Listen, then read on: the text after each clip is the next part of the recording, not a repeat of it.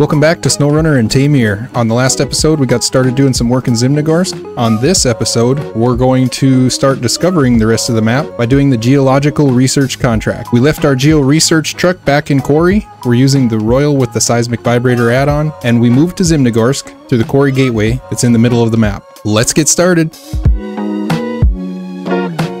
Once you get to Zimnegorsk in this gateway, the game is going to try to push you down this road, but don't take it because it's a horrible road, it's nasty. So instead, we'll just get turned around right away, pointed back towards the gateway, and there's another road out of here we can take that's much better. The Geological Research Contract has three triangulation points that we need to scan, and by scanning these points, we're going to uncover a lot of the map, and when we come in here to actually scout the map, there won't be as much for us to deal with. Of course, there's always a tree in the way, I try to stay on the left side of the road going through here because the road itself is really muddy and if you stay on the left it's a lot more solid. But we'll get up here to the pavement and we'll hang a left. We've already been over here with the dam on the last episode when we rebuilt the bridge. We're entering the industrial district now and there's a watchtower just to the left so we'll drop the fuel trailer here and we'll run in here and get this right away. Get a nice view of the map. It's actually a really nice looking map. There's a couple of tasks that have been discovered and also an upgrade. So right away we'll swing in here to the right We'll just go through the trees here and we can get that task activated right away. This is the Lost Instruments task,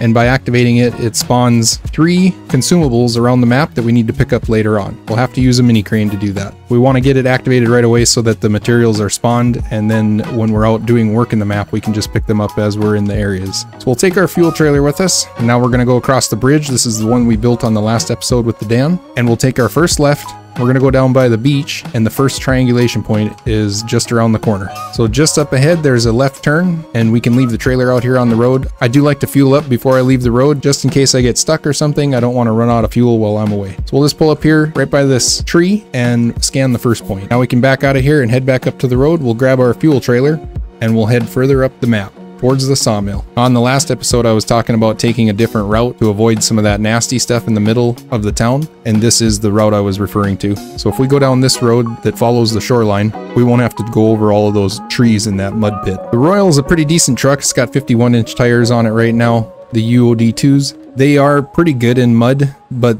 the mud is so deep out here that they just kind of sink. And if your truck bottoms out before your tires reach the bottom of the mud, then you'll get stuck. There are a few spots like that on this map, so we're just gonna hope for the best that we can get through all of this.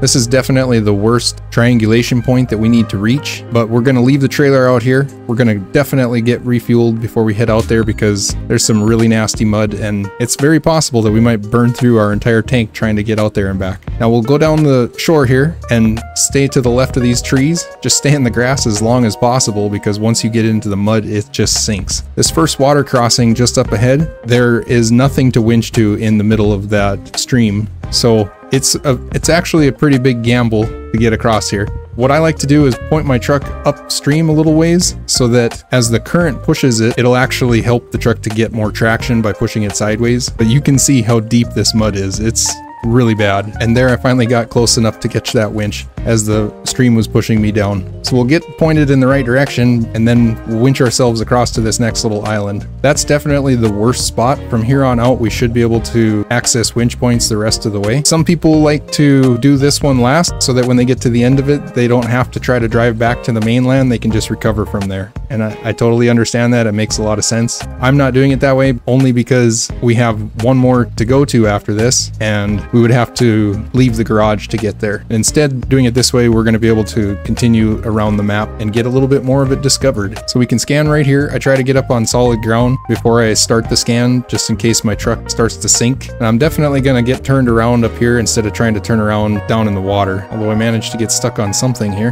Not sure what, but either way, I'll just winch myself out of here. Probably that tree that I'm next to. Now we gotta start the journey back, and it's gonna be a lot of winching on the way back too. I just try to grab a winch point from the back of my truck to whatever it'll reach, that way I can still steer while I'm winching until I get to these crossings, then I got a winch from the front. This one's the little bit tricky because there's a tree stump there on the left and a rock on the right, and you have to get your truck right between them in order to go through. Just barely fit through there. Coming up ahead, this is the one that doesn't have any winch points, so I'm going to point my truck upstream again, try to get to the right as far as I can because the current is going to push me, which is good. It helps because it keeps my truck moving, but I want to be as far out as possible possible before it pushes me down. Otherwise, it'll push me away before I can reach a tree to winch to. Just barely moving, so I'm gonna winch my truck sideways a little bit. There we go. The current is pushing me sideways. I've got my wheels turned to the right as far as I can. I still can't quite reach that tree. There, I got it. Okay, good. All right, so we're good now.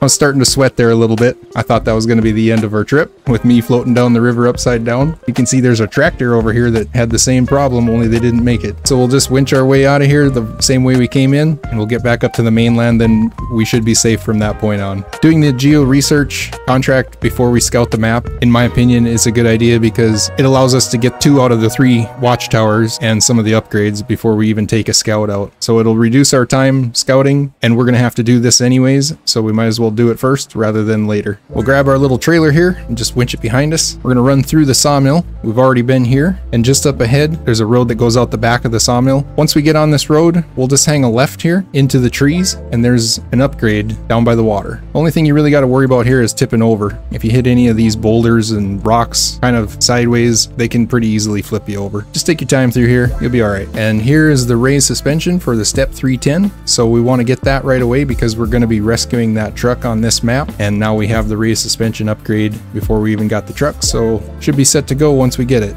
Now let's just back out of here. I'm not even going to try to turn around. Now we could go back down to the road and follow that around but the road is pretty nasty so we'll grab our trailer and then we're just going to cut through the trees here to the left. I'm just trying to find a good spot to go through with this add-on so it doesn't get hung up. That'll work. Okay, so we cut through the trees. It's pretty wide open here. And we'll just go straight ahead. We're heading straight towards the next watchtower. Instead of following the muddy road, we're just going to take the back hillside. There really isn't any mud out here, so it's a lot safer. The road is just to the right there. We could take the road right now, but like I said, it's still pretty muddy. We'll just keep going. And then up ahead there, the road has an intersection. So right before we get to this big sign that's on the left, we're to cut across, hit a tree. It's a little bit deep here. Let's get a better angle at this. Just kind of instantly stops once I get into it. We'll take the grass instead and just go between the trees. And now we can just drive right up the hill and the watchtower is right up here. So we'll grab this one, get a nice view of this side of the map. It's raining so hard you can't see anything anyways. Another upgrade location discovered. That's the one where we're heading to next.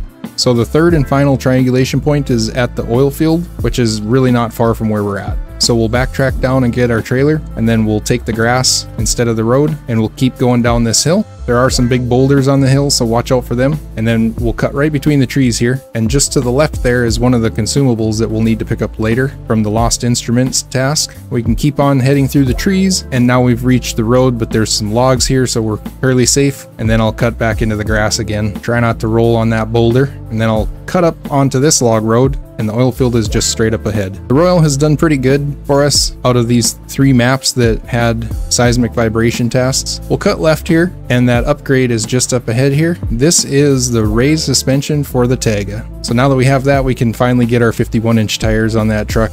Now I'm just gonna turn around and drive back out of here the same way I came in, and then we'll go right across the road, and the triangulation point is just up ahead here. You can see this patch of rocky ground, that's exactly where we need to stop. So we'll get this one taken care of, and that's the end of the geological research contract. We've got about half the map uncovered and picked up a couple upgrades. On the next episode, we're going to bust out the Scout. We're going to take the Tuz 166 throughout the map and find the rest of the upgrades and watchtowers. Make sure you come back and check that out. It's going to be a good one. Thanks for watching.